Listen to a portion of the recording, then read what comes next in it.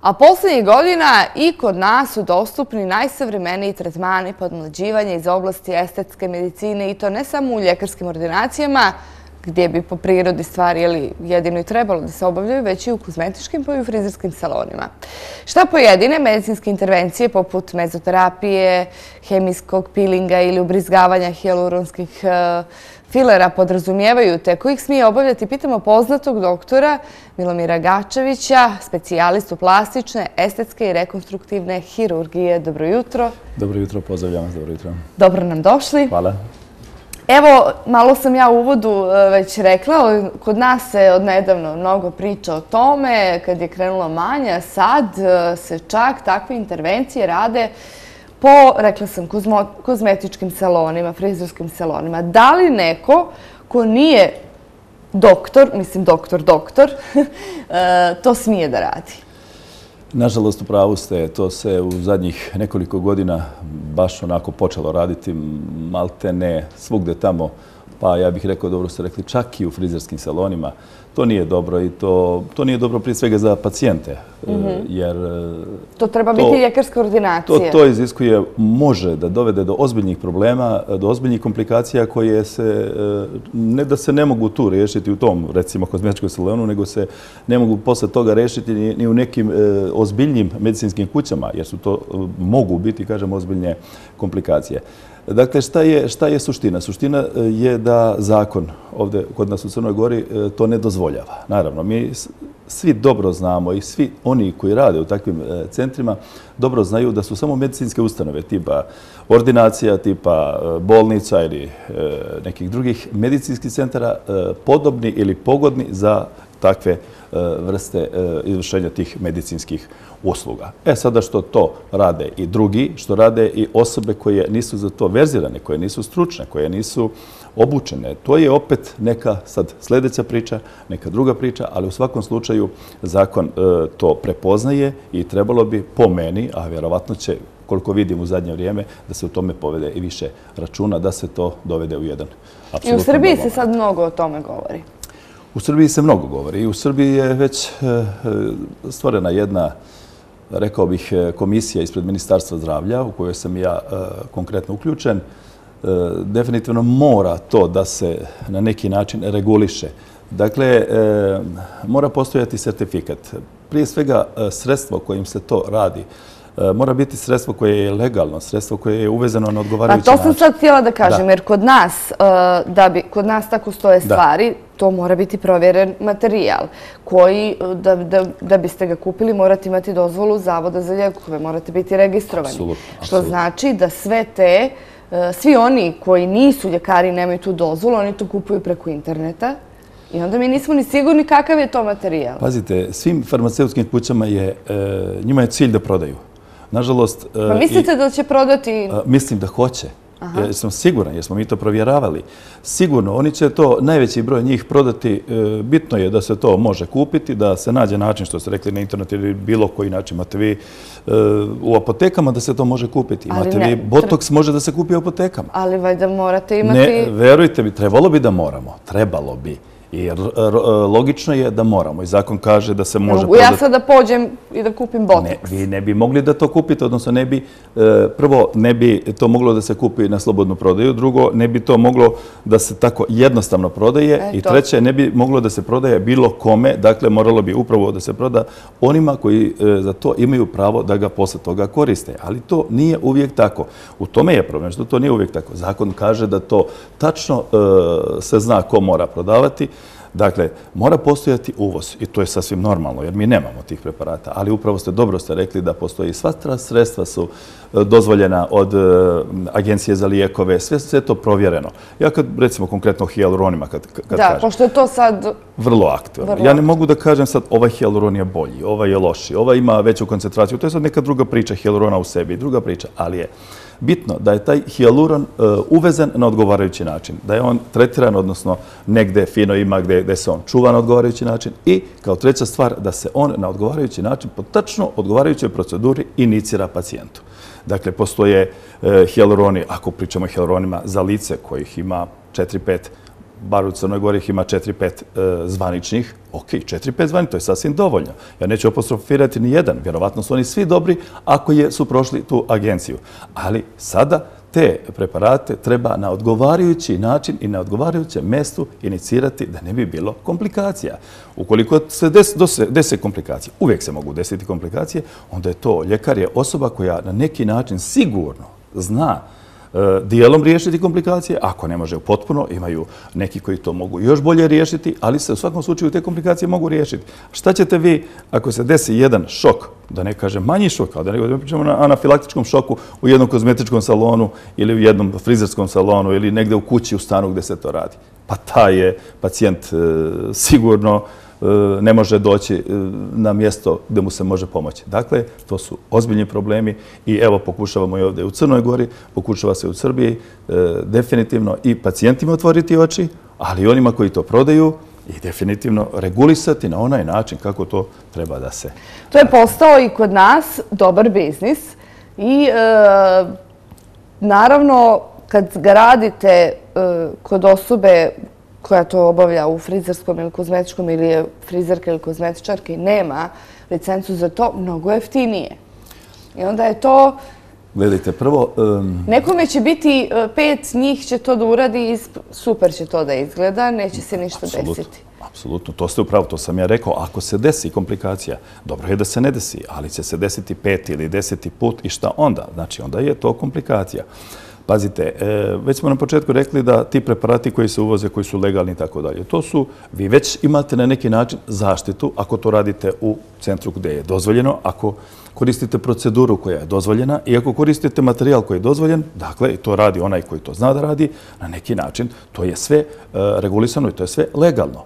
Opet, tu može da se desi komplikacija, mhm. ali opet, kažem vam, komplikacija koja je na neki način predviđena, sve su to minimalne komplikacije.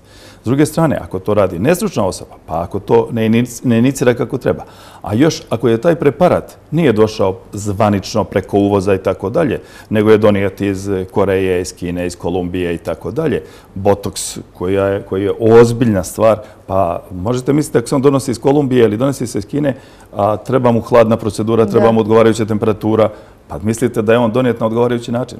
Mislite da je koncentracija botoksa u onoj e, bočici tamo ista kolika bi trebala da bude? To nije sigurno tačno. Dakle, to pacijenti malo znaju, ali to treba zaista javno pričati i... Zato i pričamo jutro sa tome. Pa kako mi da znamo? Šta treba da radimo? E, pacijenti moraju da znaju da su medicinske ustanove te kojima se to može jedino raditi. Nek to budu ordinacije, da su ljekari. Ja neću da kažem da su to isključivo ljekari plastične i estetske hirurgije, kao što sam ja.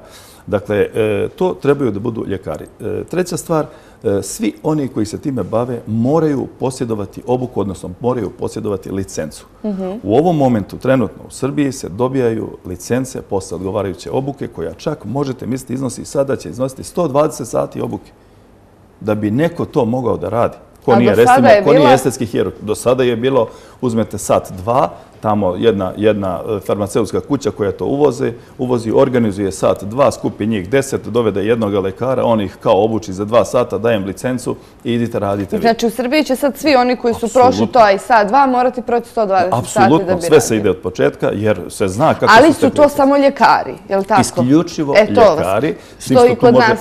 U dijelu mogu biti ljekari e, stomatologije, I naravno, ja kad govorim ljekari, znači to ne mora da bude specijalista.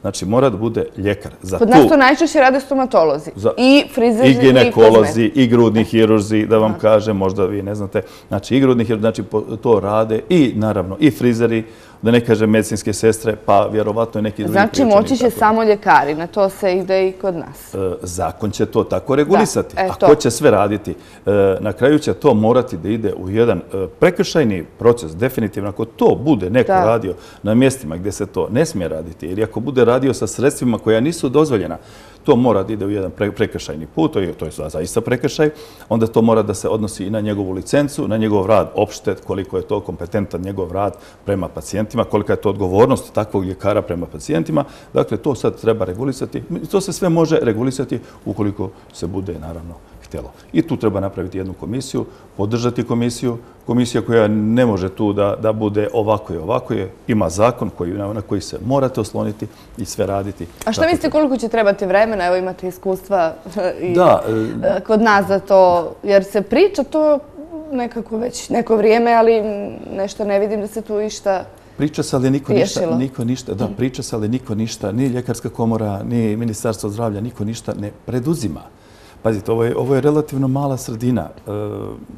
E, ja, naravno, ja sam iz ove sredine, ali ne želim ništa reći, ali je ipak mala sredina. E, nema tu ni veliki broj pacijenata, nema tu ni veliki broj ljekara koji to radi. Varate se da nema pacijenata. Šalim se. naravno. Pa nema mnogo. E, ovdje kod nas u Crnogore su devojke lepe, lepe ili lijepe, što bih rekao, ne pa ne treba im mnogo pomoći te kako, ka, kako stoje stvari izgleda da, da ali to, to se može regulisati, to se može za koju godinu. Sigurno Šalim za jednu godinu to može da se toliko, prosto, ako ako vi napravite e, pa kažete ok, kolega, vi ste radili to i to, imamo dokaz da ste vi radili, vi gubite licencu za dvije godine, nemate pravo da radite, pa vi napravite dva puta to, to će da se za dva dana čuje u cijeloj Crnoj Gori i tu je kraj.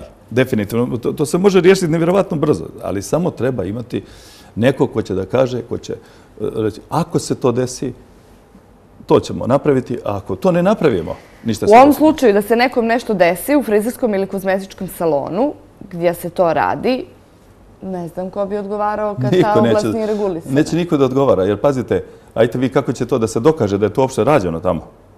Da. li, nema papir, nema, nema dokument, nema papir. Jednostavno došla je, pacijentkinja došla je da se šiša, nije došla da puni usne ili da, i da, i da radi neku proceduru. Mm. Dakle, znate, to su sad različite načini manipulacije da se to prikrije. Tako da ja bih samo volio da se to ne desi. Eto, to je ono što... Evo jedna gledateljka želi se uključiti, a sad vidim i da je broj telefona tu. Dobro jutro. Dobro jutro. Izvolite. Pozdravim vaše gosta i vas normalno. I imam jedno pitanje za vaše gosta, ako možda mi odgovori, jer nije baš direktno vezan za temu. Dobro. Da li se može hiruškim putem ostraniti SAO? Ogromno salo na stomaku iz zdravstvenih razloga i gdje se to radi?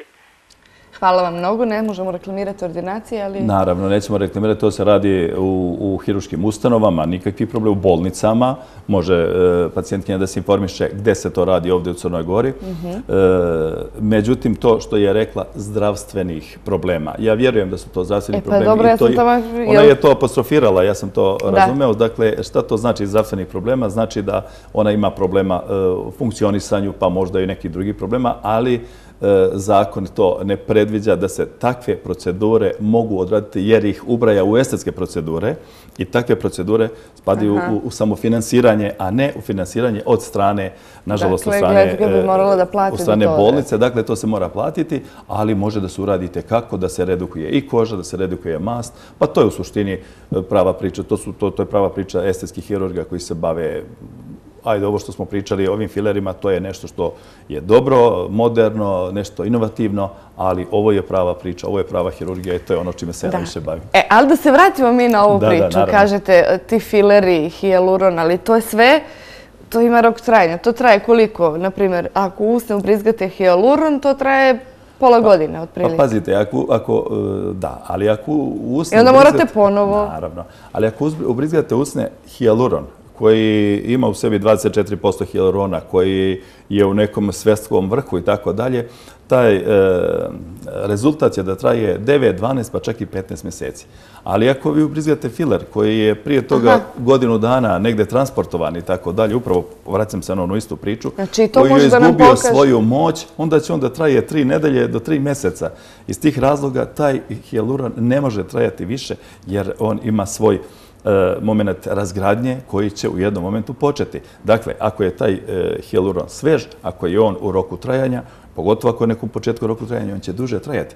Dalje, ako se inicirao, dakle, nije sve jedno da li će se taj hialuron ubrizgati u mišić, da li će se u potkožno tkivo, da li će se u kožu, da li će se u marginu, u usno crvenilo. Dakle, puno stvari ima od kojih zavisi koliko će, recimo, jedan te isti hialuron trajati I na kraju zavisi, moram priznati, i od pacijenta.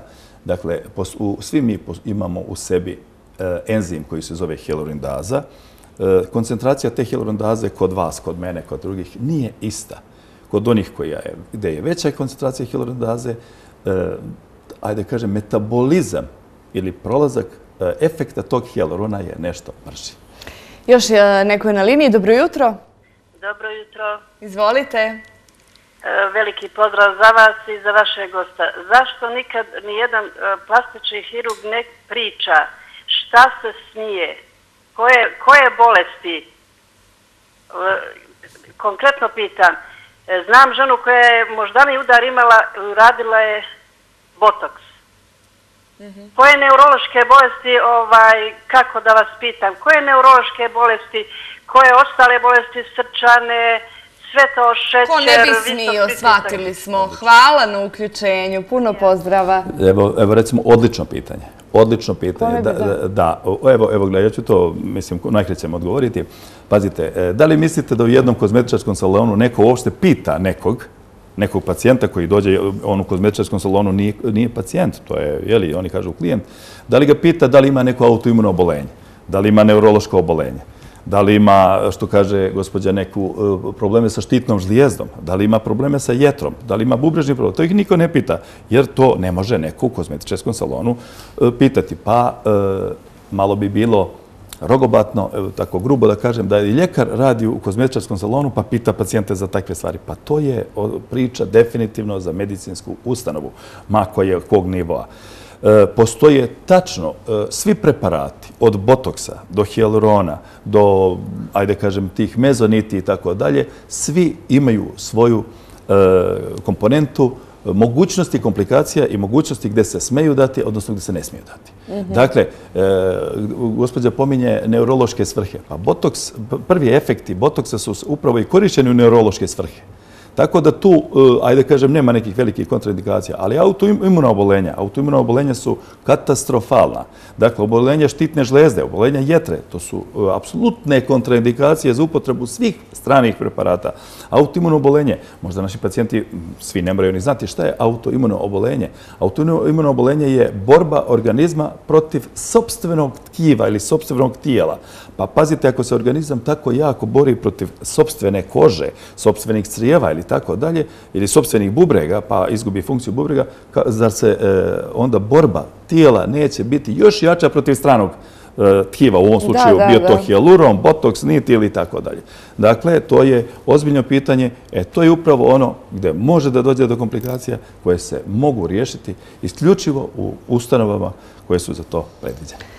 Evo da kažemo da i nisu samo žene te koje koriste botoks, nego ima i muškaraca, tako da ne bude samo da je ova priča interesantna ženama.